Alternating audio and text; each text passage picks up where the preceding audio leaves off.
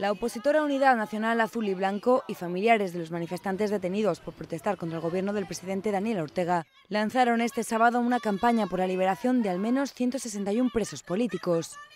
La campaña denominada Navidad sin ninguna presa ni preso político fue presentada en el estacionamiento de un edificio de oficinas en Managua durante una vigilia por los familiares de los detenidos.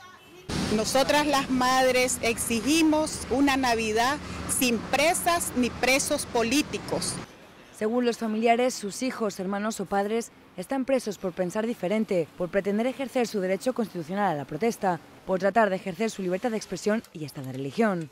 Por ello, los familiares han exigido a las autoridades la liberación inmediata e incondicional de la totalidad de los presos políticos y han pedido al gobierno que cese en su política de tener rehenes. La vigilia fue realizada después de que un grupo de familiares acudiera a la sede del Complejo Judicial de Managua, donde está previsto comenzar una audiencia inicial contra 16 jóvenes opositores que fueron detenidos cuando se disponían a llevar agua a unas madres que hicieron huelga de hambre por la liberación de sus hijos.